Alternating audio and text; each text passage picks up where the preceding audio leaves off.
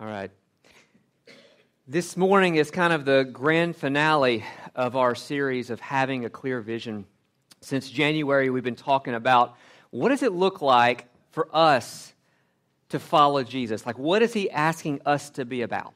And so that, that's kind of been what we've talked about the, the last, what, eight, nine weeks, whatever it is now, uh, of what is the vision God has for us. And, and again, I, have said this, but if you've missed any of them, they're all, all up on YouTube. And so feel free to go back and, and listen to any of those. But, but we started talking about fellowship first. That was kind of the, the God's called us Grace Fellowship Church. So the first thing we unpacked was the word fellowship based on kind of the benediction we say every week. So personally, I'll say this I've never been in a church where fellowship was truly a priority. I, I was thinking this week, I grew up at a Methodist church in McKenzie, and I was there 18 years.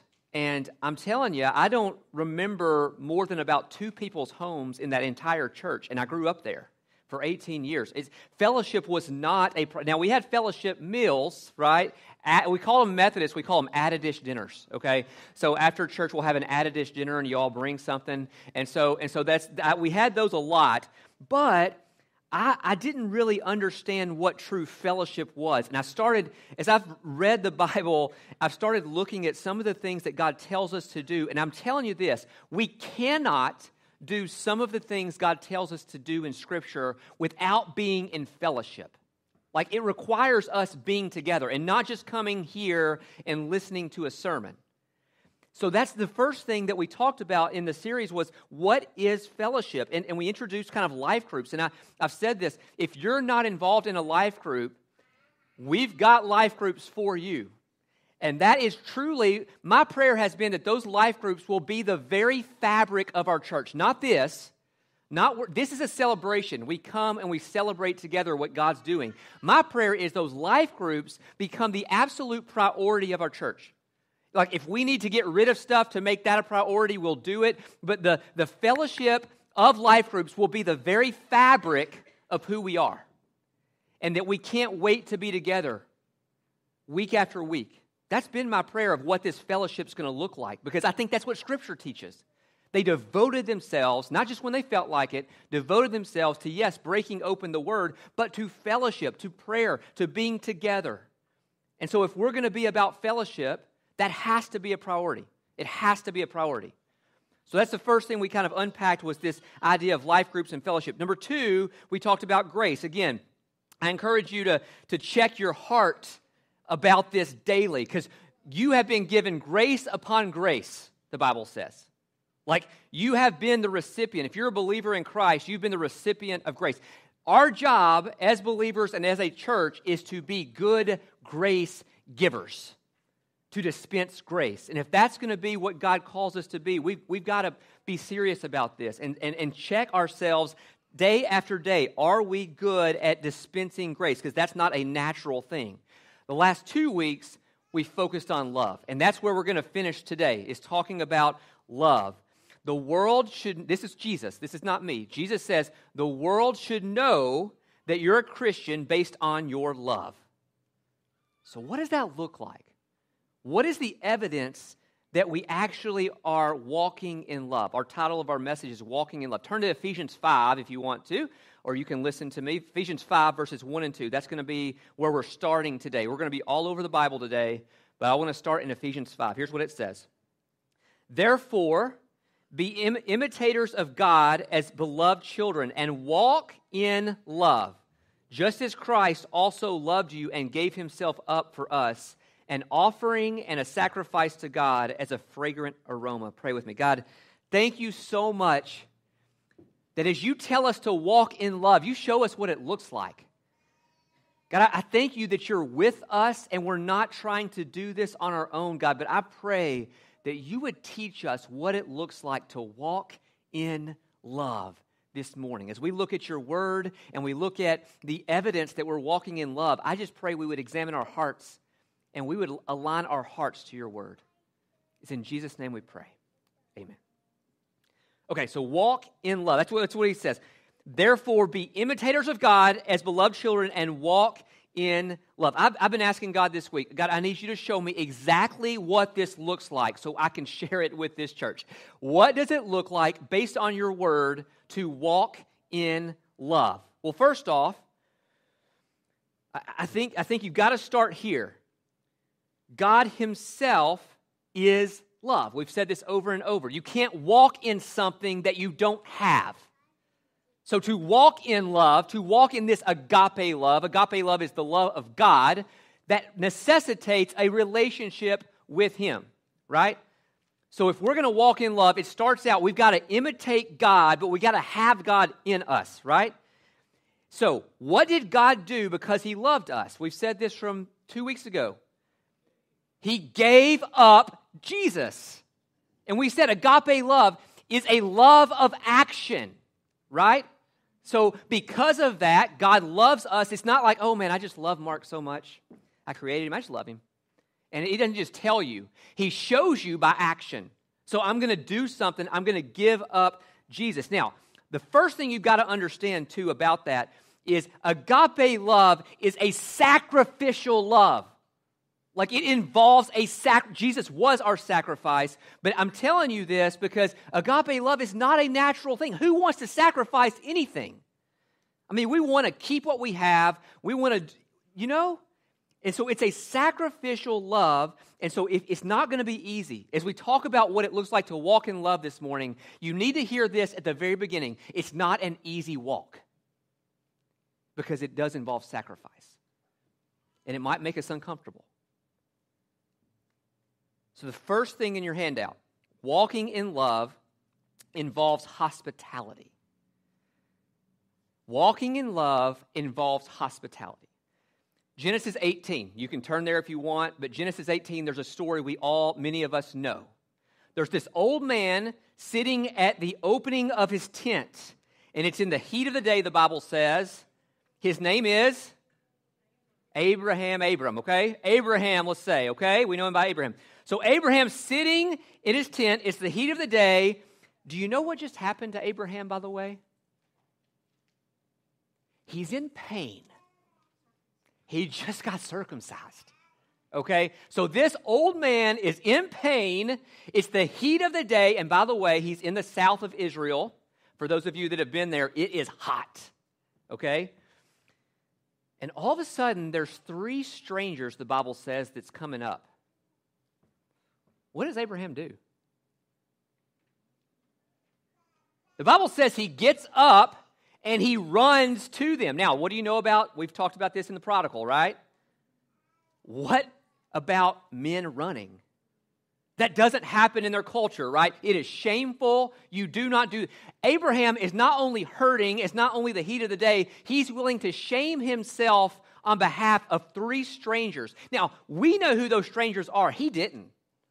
Like, we know those three strangers were, were two angels and God, right? We, we know who they are. He didn't know that, and yet he still ran because of his compassion for them. Now, know that it says it's in the heat of the day. What does that mean? Is it six o'clock in the morning? Six o'clock in the evening? No, it's more in the noontime, right? Now, why is it weird for three strangers to show up at noon? Well, in Israel, come with me this summer, the cities are spaced out a day's journey.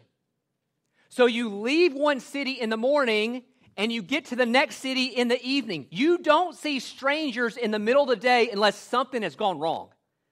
That is weird, okay? So all of a sudden, Abraham sees these three strangers show up and he sees them and he runs to meet them. I was thinking about, I was probably in sixth grade or so. I remember one summer. I, how, would, how would you respond, first off, if you saw three strangers come into your home? How would you respond? I remember um, about sixth grade, it was summertime, and this sounds so bad, but it was summertime in McKenzie, and uh, we had these huge windows on our dining room that we could see out in the front yard and the, and the road. And we saw this guy pedaling a bike, white shirt, black pants, right? And he's going door to door. You know what me and my mom did? we had a little galley kitchen, and we both got down like this right here so that they couldn't see us. We're real quiet, you know. And, and I'm, I'm thinking, man, we're exactly opposite of Abraham, right? I mean, that's like the exact opposite scenario of what Abraham's hurting, and all of a sudden he's running to strangers, and we're hiding from other people. So anyway, I, now what does he do when he gets to these people? Think about, think about what he does too. He sees them, he gets to them. The first thing he does is wash their feet. Men don't do that in their culture. That, that's, that's, a, that's an odd thing for it just shows you how much compassion and how much love he had for these three strangers that he didn't know. And then he tells his wife Sarah to go and what, what was she to do for them? Make bread. And if you if you read the story again, it's three seahs of the finest flour. That's wheat flour. You don't just eat wheat flour, you eat barley flour because it's a lot cheaper. Doesn't taste as good though. But if you have special guests come over, let's get the fine, it's like the fine china out, right? So three seahs, how much is that?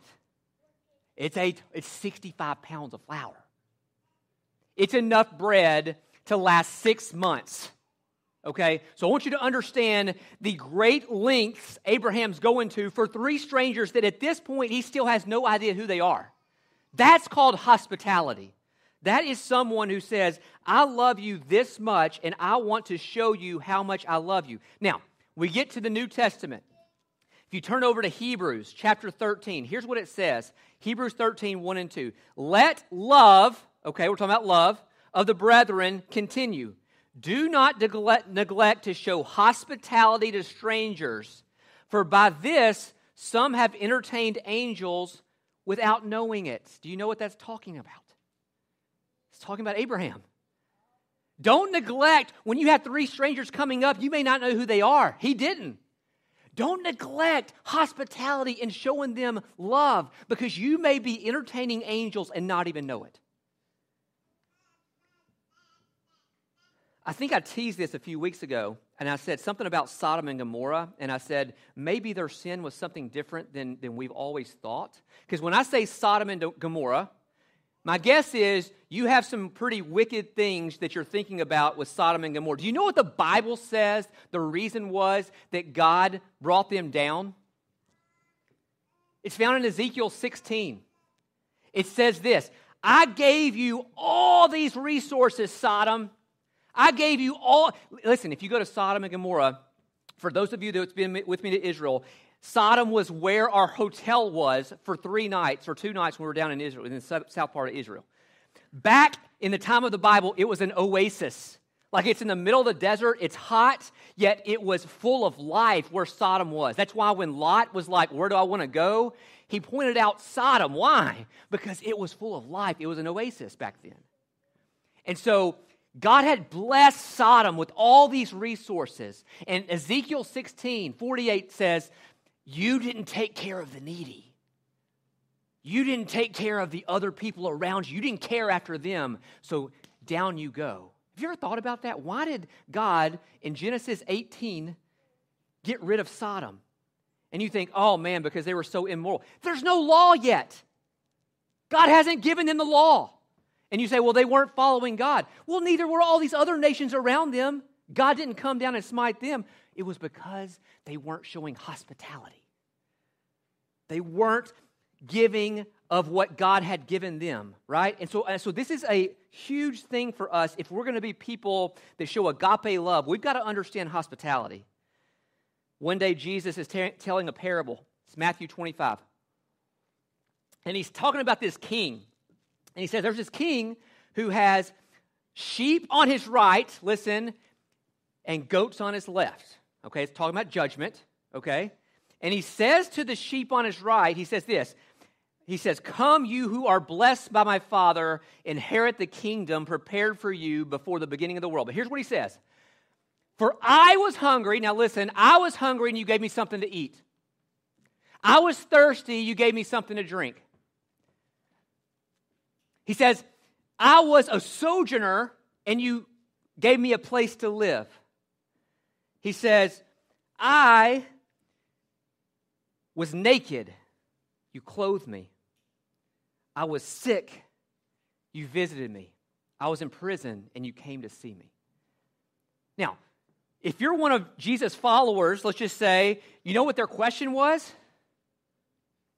Wait a minute. When, when, when were you hungry, Jesus? I, I never saw that. When, when, were you thirsty? When were you in prison? I don't remember that story. When, and you know what he, his reply was?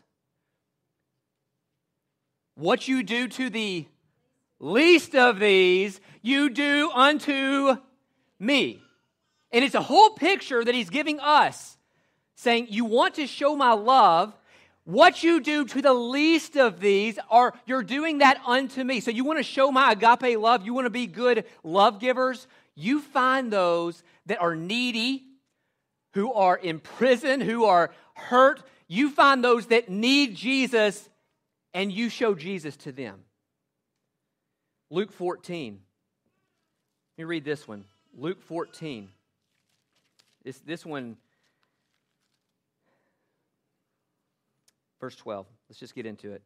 And Jesus also went on to say to the one who had invited him, this is talk about the parable of the guest. Here's what he says When you give a lunch or a dinner, do not invite your friends or your brothers or your relatives or your rich neighbors. Otherwise, they may also invite you in return, and that will be your repayment. But when you give a reception, invite the poor, the crippled, the lame, the blind, and you will be blessed, since they do not have the means to repay you, for you will be repaid at the resurrection of the righteous. Now, why does Jesus say, invite the poor, the lame, the crippled, the blind? Why? why? Like, what, what is the purpose behind that? He's reminding us of our mission. Like, we're here for a reason. Like, you were created for a reason. We were all created for a reason. And our reason is to invite others into this story of God for them to understand who Jesus is, what God has done for them, and that is our reason. Now, I, I, tell you that to tell you this hospitality is the means by which we do that. Hospitality is the means by which we show people who God is. And, and I use the word hospitality, it's, it's in the Bible, okay? Now, hospitality is so misunderstood. I was looking up this week exactly where does the word hospitality, where did it originate? How, why do we use this word? It's a Latin word. The word hospitality is a Latin word, and it means this it means a charitable institution to house and maintain the needy. It's, it's some place that houses and maintains someone who is needy. So, it's the word that we get the word hospital from. It's a place that houses and maintains the needy, right? That is where hospitality comes from. Now, I've spent my fair share in hospitals. And I will say this let me ask you, why do people go to hospitals? Is it because you're like, hey, I want to go play golf today? There's a lot of people up at the, go- at the hospital. Let me go up there and see if anybody plays golf. Hey, guys, anybody play? Is that why you go to hospital? Or, or maybe, hey, man, they got a great cafeteria at Murray Regional.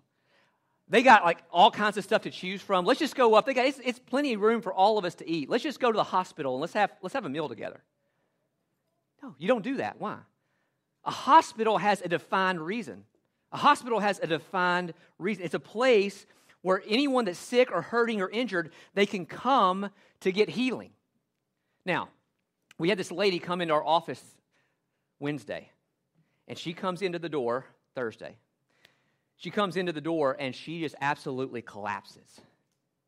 And she's like screaming. And she says she can't feel from her neck down to her feet. And she is just, I mean, it's, it's, it's a scene, right? Who, where do you think we sent her?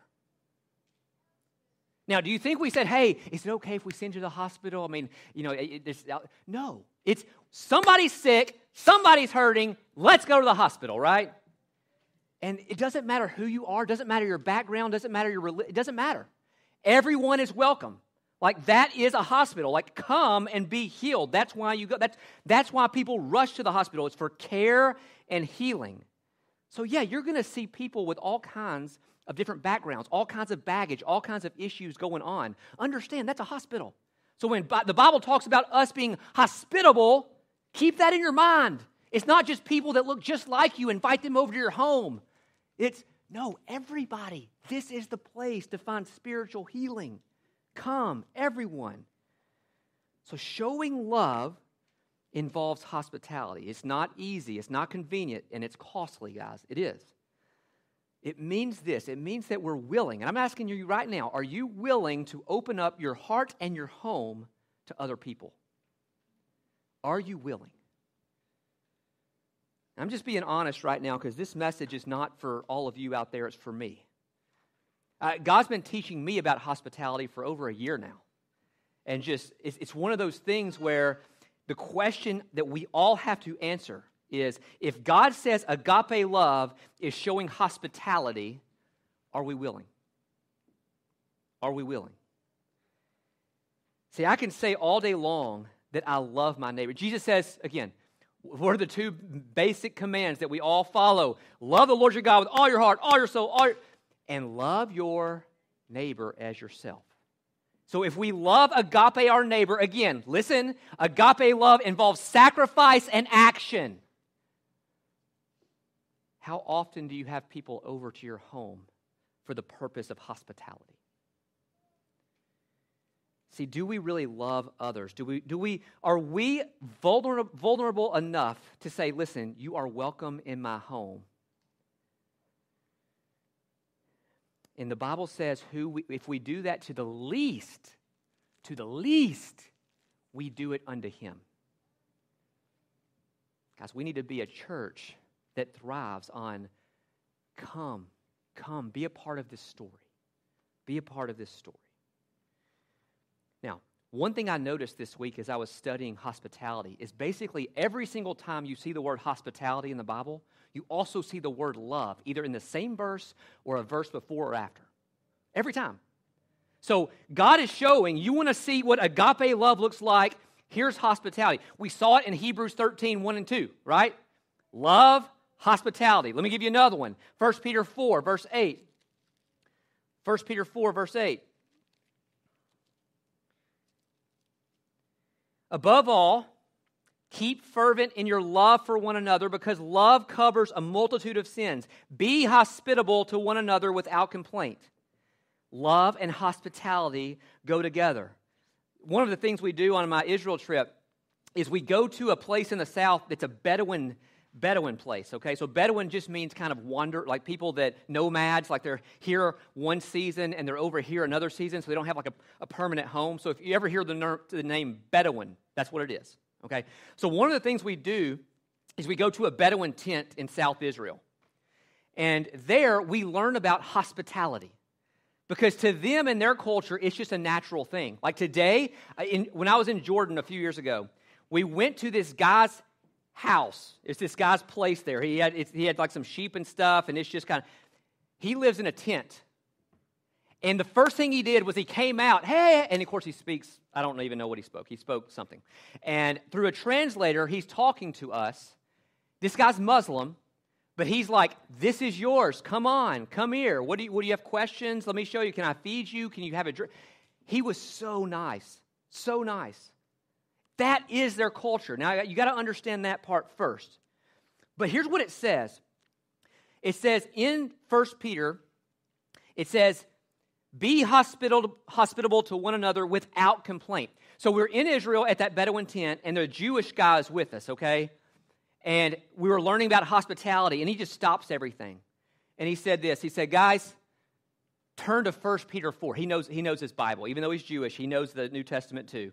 He said, Turn to 1 Peter. I want you to see something. And he read this verse to us. And here's what he said He said, If you are complaining about having people over, that's not hospitality. He said, If that's your heart, he said, that is not hospitality. Hospitality is without complaint. Why? The reason for hospitality, you got you to catch this. The mission of hospitality is not a to do list. Like, well, God tells me I got to do it, so let's see. Well, that guy looks pretty bad. You want to come eat supper with me tonight? I, have done, I've done my duty. That's not hospitality. Hospitality is a heart issue where you say, I want you to come in so I can show you what Jesus looks like. I want to come alongside you, hear your burdens, pray with you. That's hospitality. It's a heart issue. So if in your mind you're thinking, ah, It's Friday night. This Friday, I'm supposed to invite somebody over. Let's see. Who could, that's not hospitality. So understand agape love is a love that comes from your heart. And because of that, you're driven to want others to know Jesus.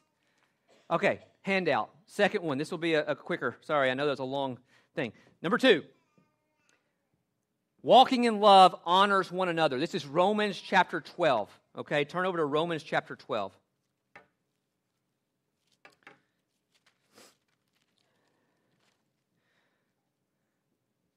Start with me in verse 9.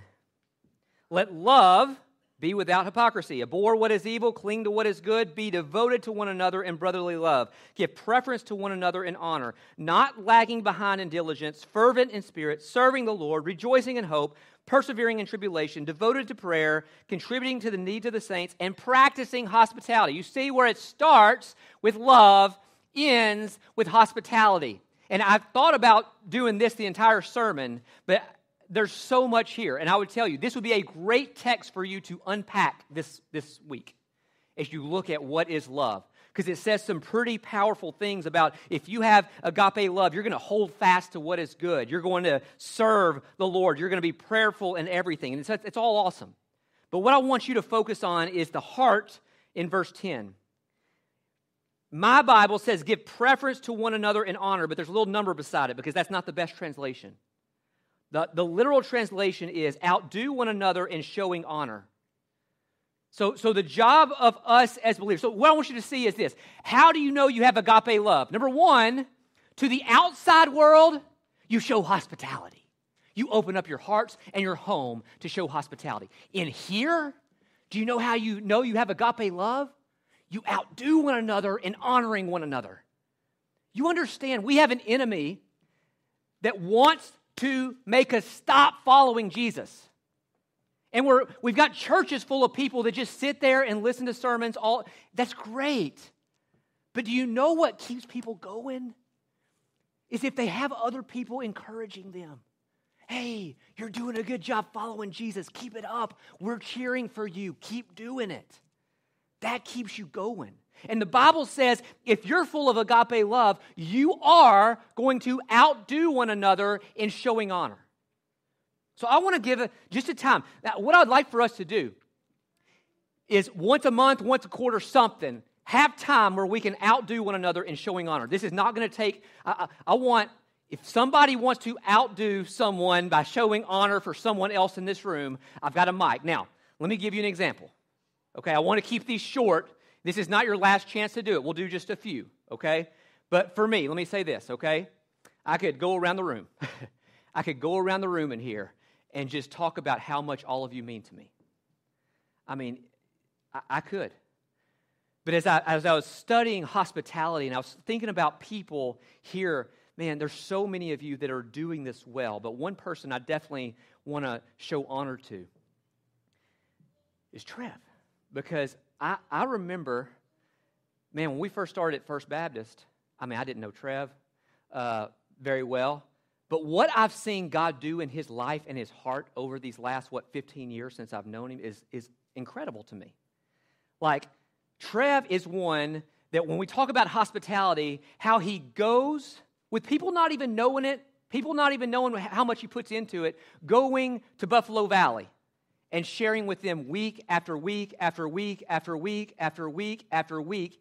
And I guarantee you that sometimes gets old. Like, man, another Friday night, no, I can't do anything else. I've got, but at the same time, what I'm saying is we have an enemy that wants us to stop, wants us to stop doing those things, and you can start thinking things in your mind. So, like Trev and Tommy would be another one that's not here. I mean, just talking to those two guys, they're seeing God move in incredible ways but it's because they've opened up their heart to say, I know these people aren't just like me. You see that? I know these people don't have my story, but I want to invite them into the story. I want to show them what Jesus looks like. So thank you. I mean, keep going, right? I mean, this is awesome. Like, I love when God's using our people to do amazing things. So, is there uh, just a couple of you short statements of someone to honor in this room? Is this on?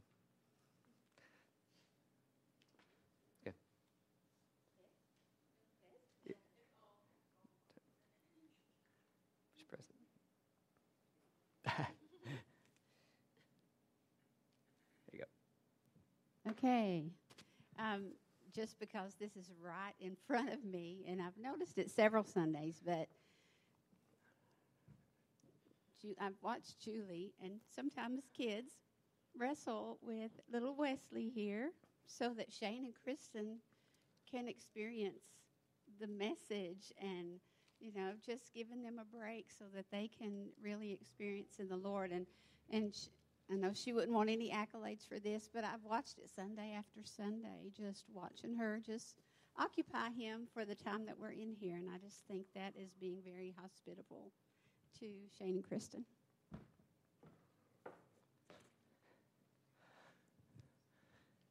Anybody else?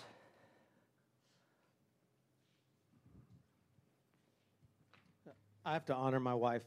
Um, this is a hard season for us right now. Our days are long. Um, my days are long. Her days are longer. Um, she, I, I, don't feel a whole lot. Um, I like to help a lot in practical ways, but she feels and takes the burdens of every single one of you on herself. And she, she never gives up, no matter how hard it is. Um, if you guys had any idea how much she prays for every single one of you guys and how much she takes your burden on as hers, um, it's a lot. She deserves honor, and she, she never wants to be seen for any of it.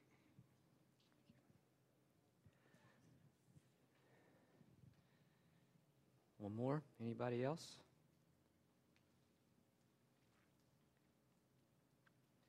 You don't have to.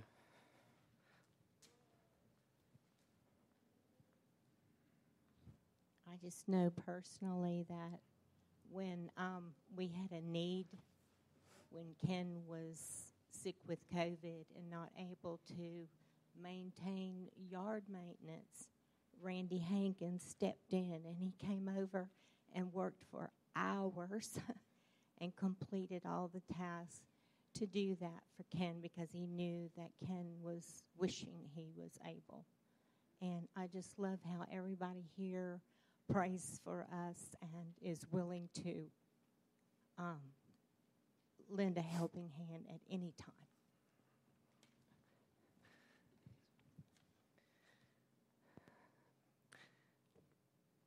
I think this should be a regular occurrence here, honestly.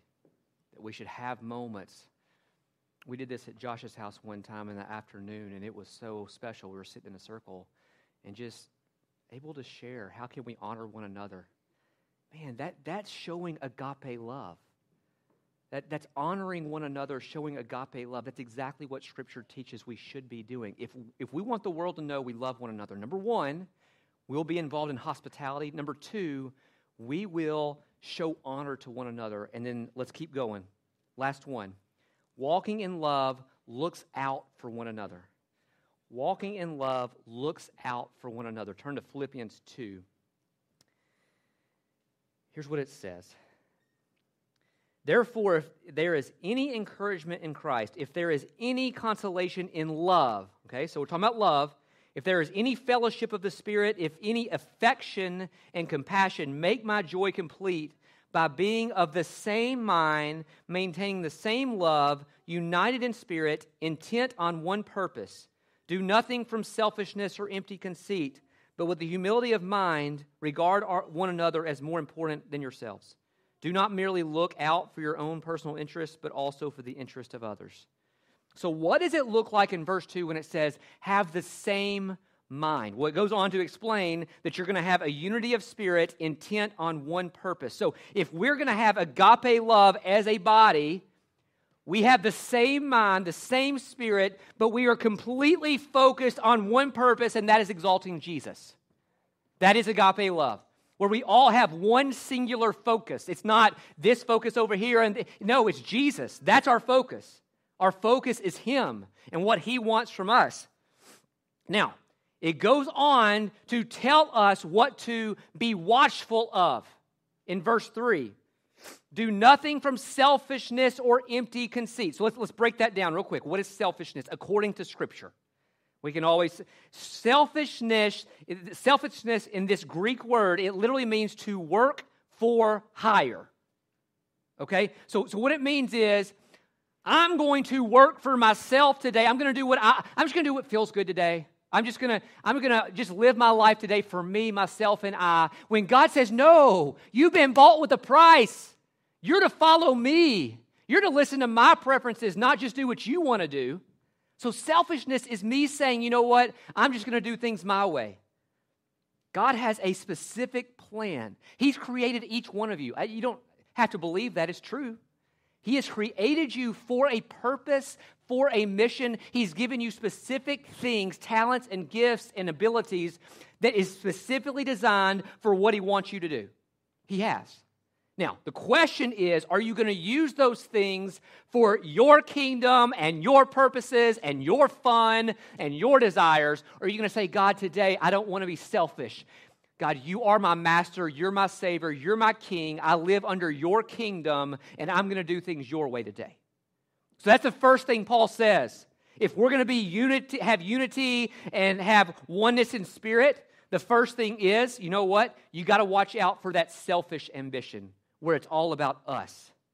To walk daily with Christ means we check our interests at the door and follow him. Okay? The second word there, empty conceit, okay? This is a state of pride because um, a state of pride which is without basis, okay, meaning this I'm prideful for no good reason. And, and here's why that's important. We've talked about the fruit of the Spirit, one of them is goodness. And we've said this none of us are good. That's what the Bible says. You are not good in yourself, none of you. So if someone sees good in you, what are they seeing? They're seeing God, they're seeing Him. So there is no conceit or pride when we realize when someone sees good in me, James 1 says that's coming straight from God. And so that you have to keep that in the back of your you have to be thinking about that. These are the two things that are going to make us not be unified and not show love. Is being prideful, well, it's all from God anyway, or being selfish. Now, then he goes on, let's keep going in verse 3. Do nothing without conceit, or excuse me, do nothing from selfishness or empty conceit, but, so the flip side, with humility of mind, regard one another as more important than yourselves. So, this humility of mind. And here's what that means.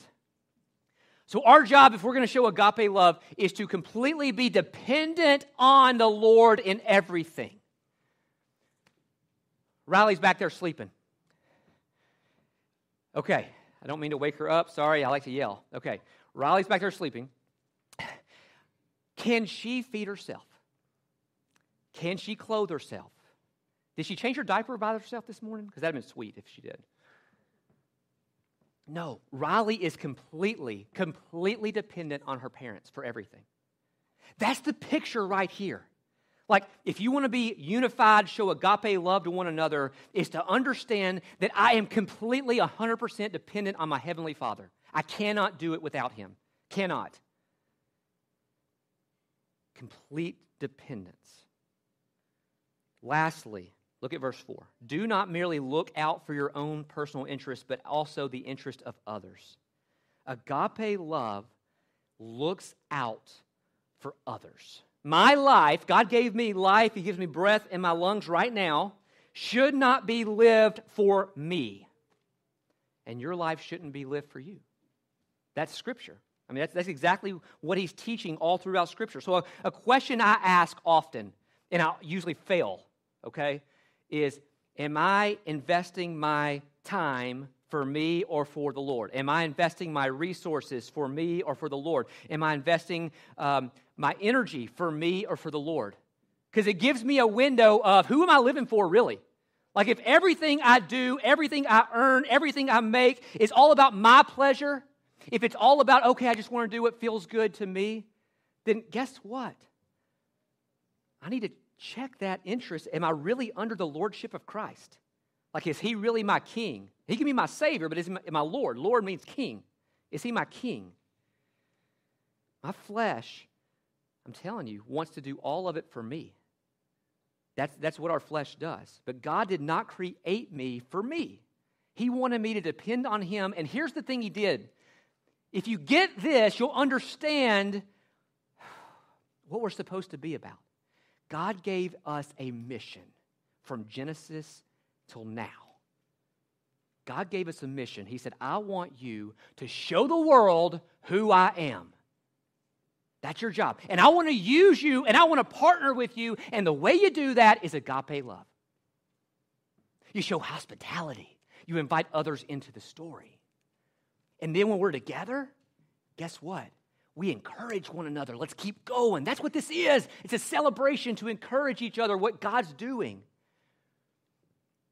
But we also have to make sure that we're truly one body. We check our interest at the door and we look out for the interest of others. Do you have your eyes open on how you can meet needs to those around you?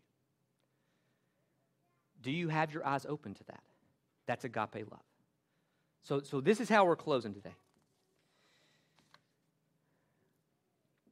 Walking in love, I want to give you just a quick recap, and I want you to think about how you're doing. Walking in love involves hospitality. My question to you that you need to wrestle with here in a minute as we pray will you open your home? Will you open your heart to be a spiritual hospital for those to experience spiritual healing and to know who Jesus is? And again, you can say yes. The question is, are you going to back it up? Because agape love involves action. So when are you going to invite others into your home? Number two, walking in love honors others. Maybe, man, you were sitting here thinking, I'd love to honor this person right now. And, and, and I didn't come to you with a mic or you didn't raise your hand. Maybe that's what God's putting on your heart to do this week is to honor someone and tell them, man, I see God using you. I see the kingdom breaking out because you're following the Lord. And maybe that's what you need to do this week because that is agape love. Three, walking in love looks out for one another. Maybe you know somebody right now is hurting or there's a need in someone's life. Agape love looks out for one another, knowing that your resources were not given to you for you. That's what Sodom thought. Sodom thought, God, you gave me this oasis. This is awesome. And when there were needy in their midst, they didn't care for the needy. And God destroyed them.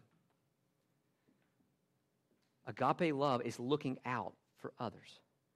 So I don't know what God's calling you to do, but we're going to go into a time of prayer. And, and guys, if anybody needs prayer, come up. Let's, we have leaders that will pray with you. But this is our time to just wrestle with God and just make sure our hearts are clear when we leave. So pray with me. God, thank you so much that you loved us so much that you sent Jesus to pay for our sins. God, that is incredible. God, I pray that you would help us be agape givers to the world. God, there are people all around us that don't know your love, haven't experienced your love, and I pray, God, that we would be hospitable that doesn't accidentally happen. And it's not easy and it costs. But God, convict our hearts in such a way that we will see them, invite them in, and love on them and show your love. God, I pray that you would help us, Father, to just honor one another. Help encourage one another and help each other keep going, God. There's so many in this room. There's so many in this room that I love dearly. Help us to express that to one another. And lastly, God, move us out of the way. May it be about others so that you will get all glory and all honor. Have your way in our hearts right now. In Jesus' name, amen. A benediction. You ever thought about what is a benediction? See, I, I, said benedictions every single service that I've ever been in for 18 years. In Methodist Church, that's how we finished every single worship service. I don't think anybody ever stopped to say, here, here, this is what a benediction is. A benediction is not just some little prayer we're saying. It's not some little ritual that, hey, let's just all get up and this is our little verse, let's just do it. It's, it's a reality of what we're walking with, right? So the very first benediction in the Bible is what? Numbers chapter 6, the Aaronic blessing, right? The blessing of Aaron. God told Moses, Moses, tell Aaron that when you gather, I want you to tell the people something. The Lord bless and keep you. The Lord make his face shine upon you and be gracious to you. the Lord put his countenance upon you and give you peace. All right? That's the Aaron, that's, that's the blessing of Aaron. And so for years, listen, where were they at that moment? They're in the desert. And God's saying, I want you every time you're together to be reminded that I'm with you and my face is shining upon you and I'm going to be gracious to you. And don't seek shalom, peace, from other things. I'm your peace. Come to me. And it's a statement of, listen, as you go, just know who you are. So as we say 2 Corinthians 13, 14, I want you to understand it's saying that as we leave those doors, we're going to walk out grace. Like God has given us grace, and we're going to give grace to others, and we're supposed to set our minds and our thoughts on that reality. Our love. God has lavished us with love, and He wants us to be love givers to other people. And then lastly, fellowship, right? So as we say these things, it's a reminder of us setting our hearts and our minds as we leave those doors of who God calls us to be, and that He is with us no matter what we face. So I want you to receive this morning these words, okay? Don't say them after me. I want you to listen to these words in your heart. Receive these words, and as we leave, let's leave with this thought in our mind. Ready? I'm not sure I am. You ready? May the grace of our Lord Jesus Christ and the love of God and the fellowship of the Holy Spirit be with you all. Amen.